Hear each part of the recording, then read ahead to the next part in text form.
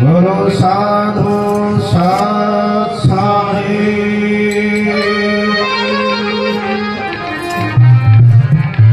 सदगुरु साहिब सत कबीर बंदी छोड़ को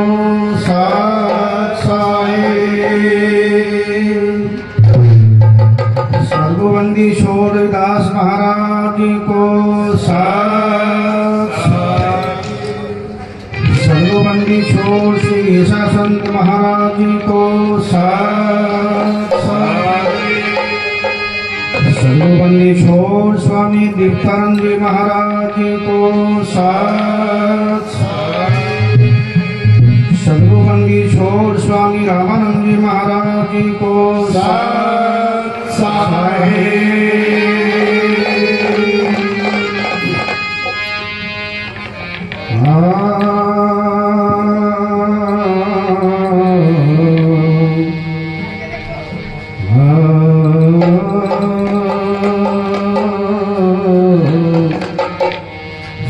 सतगुरुदेव तुही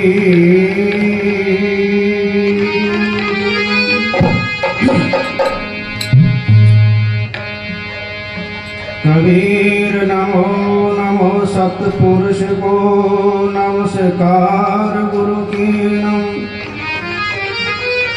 सुर नर मुनि जन साधवा। संतो सर्वसनी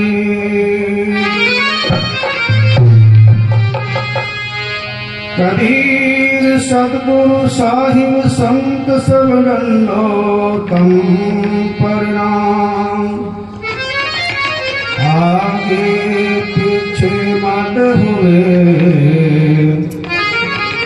किन को जान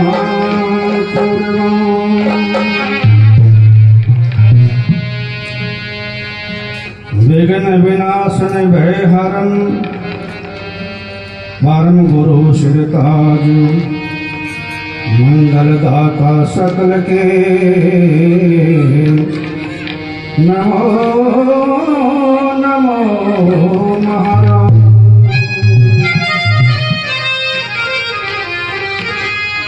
गुरु तुम्हारे दास हम। गुरु तुम्हारे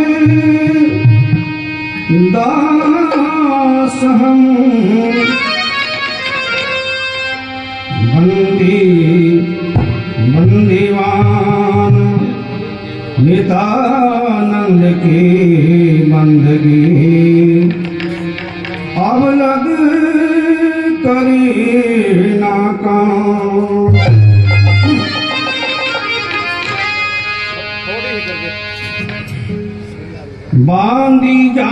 जाम गुलाम हम बांदी जाम गुलाम हम गुरु तुम्हारे दास। भाव रखो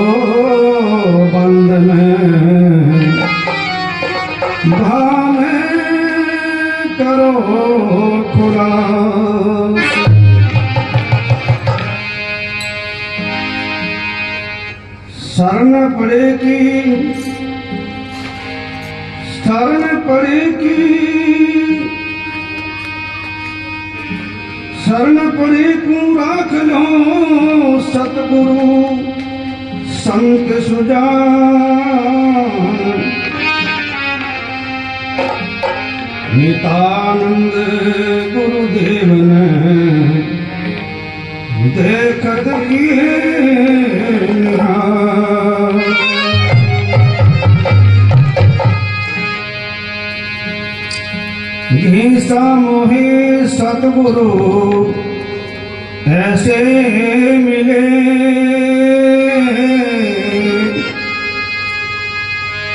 घीसा मोहे सतगुरु ऐसे मिले जैसे सूर्य आकाश। भरम कर गुरु ज्ञान किया पर। घीसा मोहे सदगुरु, ऐसे मिले। जैसे सूर्य आकाश, भरम हदेरा मिट कर। गुरु ज्ञान किया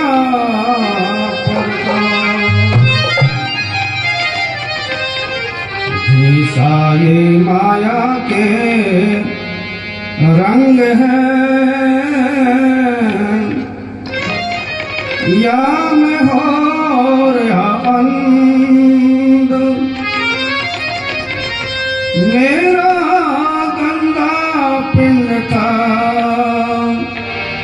श्री सतगुरु करी सुगंध नमो परम गुरु सर्व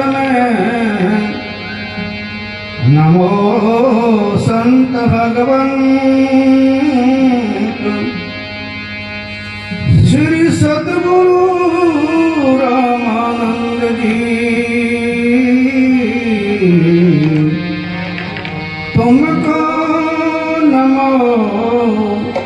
अनंत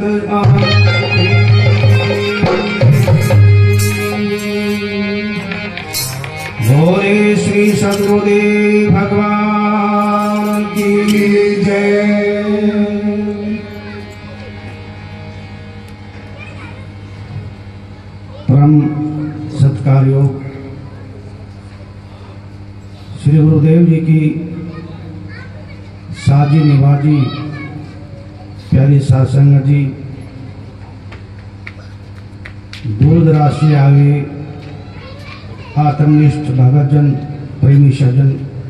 मातृशक्ति। आप सभी को जी आया हूँ। आज बहुत ही सौभाग्य का अवसर है। नव वर्ष के उपलक्ष्य में हम सभी काफ़ी देर से यहाँ बैठ करके श्री प्रभु के चरणों के साथ में जुड़ने का प्रयास कर रही है। मैं आप सभी को नववर्ष के शुभ अवसर पर अपनी तरफ़ से सदगुरु स्वामी रामानंद जी महाराज जी की तरफ़ से, संत आश्रम की सारी साधसा की तरफ़ से आप सभी को नववर्ष प्रश्न बहुत बहुत ढेर सारी शुभकामनाएँ गुरु महाराज, आप सभी को चढ़ती कला बख्शिश करें। आप सभी का जीवन मंगलमय हो। और हमारा ये 2023 का जो नववर्ष आज का शुभारंभ हुआ है, हमारा सब मंगलमय जीवन व्यतीत हो।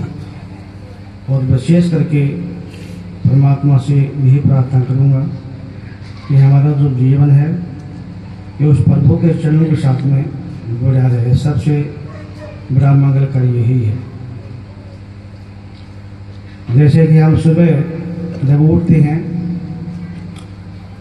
तो सबसे पहले जैसे ही हम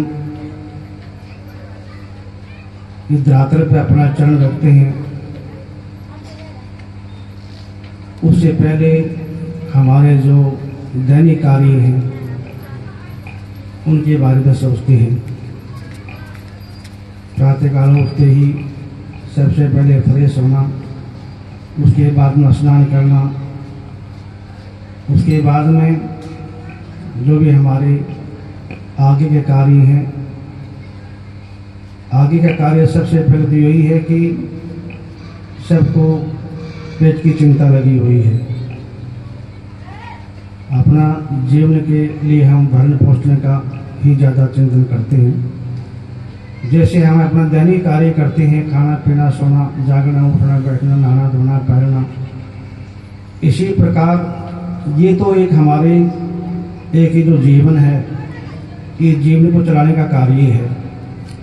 लेकिन सबसे जो अहम बात है कि हम संसार में आए हैं जैसे अपने जीवन के लिए हम सब प्रबंध करते हैं, इसी प्रकार उस समय को निकाल करके हम अपने आत्म कल्याण के लिए भी विचार करें बैठ करके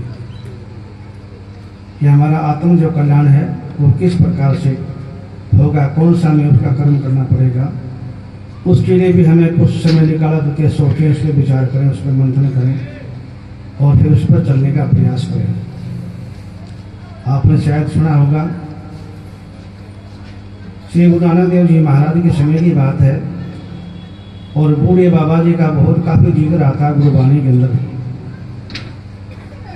बूढ़े बाबा जी को शरीर से बूढ़े नहीं थे। एक युवा, जिसको बचपन कहते हैं हम एक बच्चे के रूप में थे।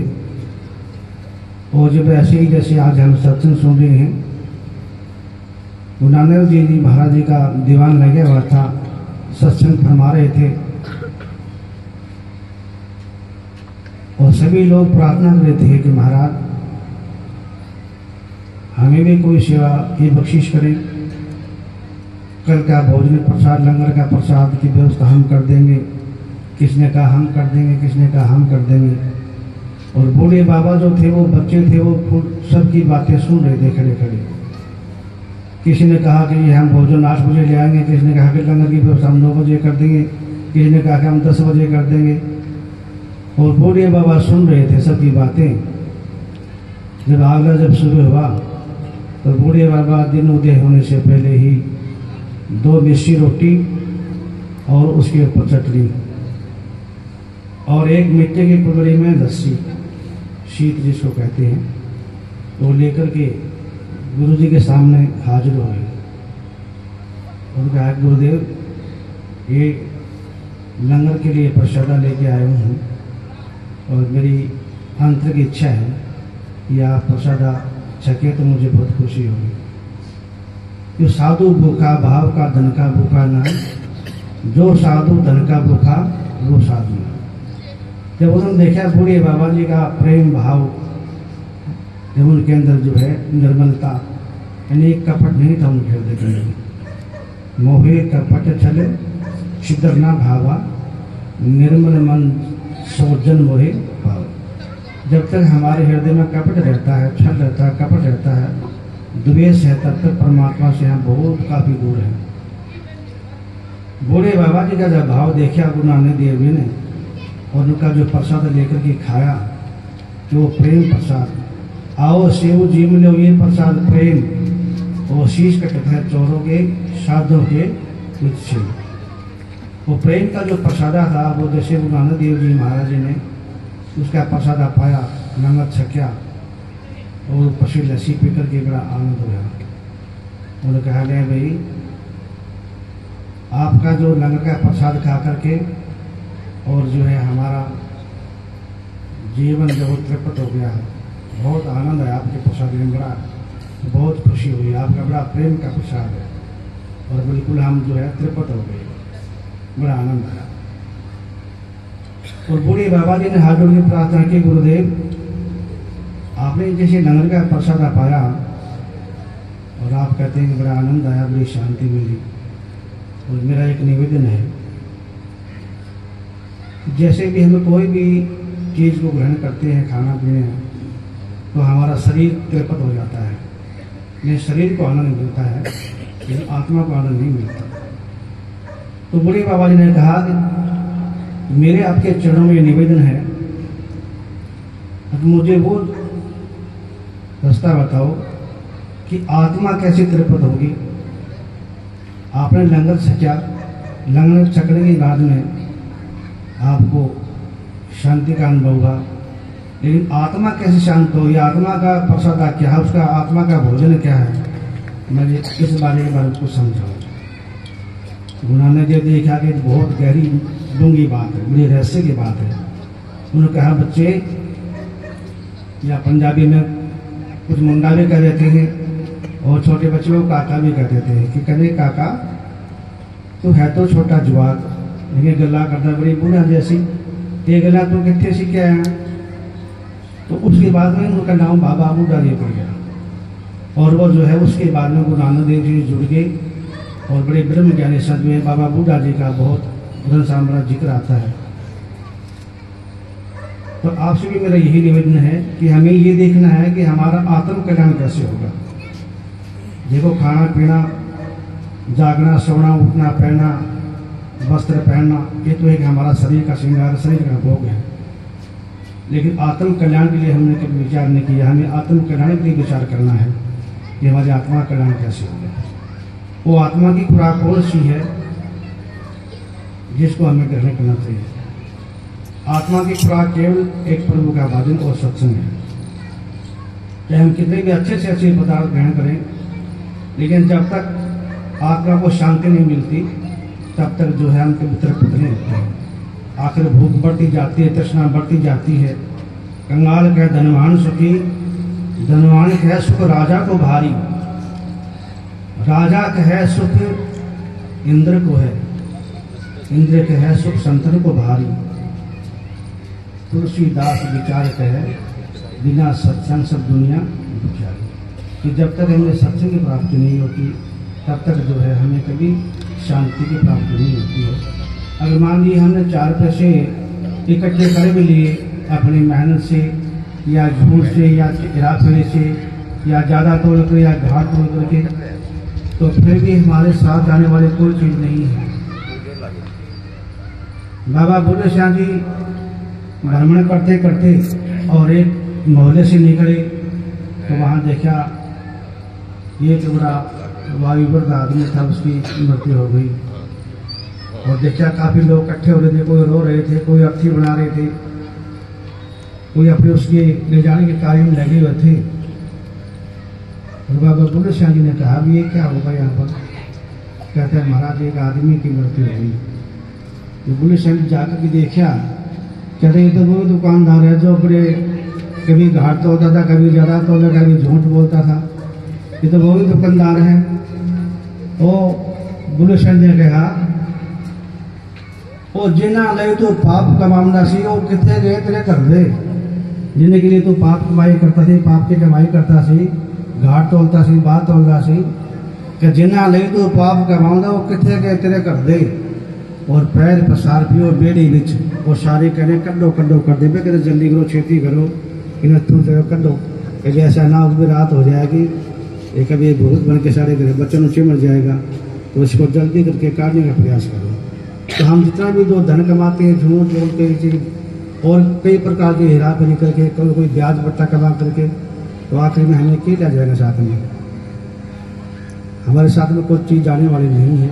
हमारे साथ तो केवल अच्छाई या बुरा बुराई चंगियाइयाँ बुराइयाँ, बातें धर्म दूर करनी आपको अपने क्या नीले क्या जो हम कर्म करते हैं अच्छा या बुरा, वो कर्म जो है हमारे साथ में जाते हैं। इसलिए हम अच्छा कर्म करना चाहिए अच्छी कमाई करनी चाहिए अच्छी कमाई क्या है? वो प्रभु का भजन। वो जो प्रभु का शिवन भजन, वो हमारे निजी संपत्ति है। उसमें किसी का कोई हिस्सा नहीं है। एक विद्या और एक शिवरण आज हमारे विद्यार्थी जो विद्या पढ़ते हैं, उसमें किसी का कोई हिस्सा नहीं है। वो हमारे निजी संपत्ति, हमारे काम आने वाली है। प्रभु का शिवन भजन, बंदगी अच्छा कर्म, वो भी हमारे साथ, हमारी खुद की प्रॉपर्टी है। वो हमारे साथ में जाने वाली है। बाकी जिन माताओं ने, बहनों ने, भाइयों ने अपने ऐप की करवा रखी है। आज हमारे बच्चे जब युवा होते हैं, शादी होते ही जो है, उनका ध्यान कहाँ है? कि माता पिता की प्रॉपर्टी की तरफ़। छोटे वाला सोचता कि बड़े वाले को प्रॉपर्टी ना दे जाए बड़े वाला सोचता कभी छोटे वाले को प्रॉपर्टी ना दे जाए सबका आपस में जो है विकल जुटा रहते हैं। और वो प्रॉपर्टी जो है, माँ बाप से ज़बरदस्ती भी जो अपने नाम करवा देते हैं। लेकिन ये जो प्रवृत्ति जो सिमरण की प्रवृत्ति है, जो हम सिमरण करते हैं सिमरण भजन साधन, ये हमारा किसी का कोई हिस्सा नहीं है। ये हमारी निजी संपत्ति है। ये हमारा जो है, अभी जागने का समय है। भया सवेरा जागो संतो, तुमको राम दुहाई रे। अब सवेरा यही है कि हमें ये मानव का छोड़ा मिला है। अब जागने का समय है। गुरु रविदास जी महाराज इस संसार में आए, लोगों को जगाने के लिए वो अपना कार्य करते थे भजन बंदगी सिमरण ध्यान, जो भी उनकी क्रिया थी, उस क्रिया को करते थे। लेकिन कुछ रूढ़ीवादी लोग थे, वो उसका विरोध करते थे।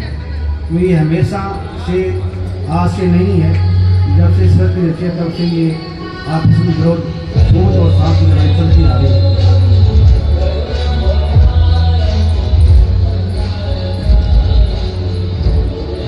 सच्चाई होती है वहाँ पर झूठ नहीं रुकती और जहाँ झूठ होते हैं वहाँ पर सच्चाई नहीं रुकती। ये आपस में जो है, सदा से ऐसा विरोध चलता रहा है।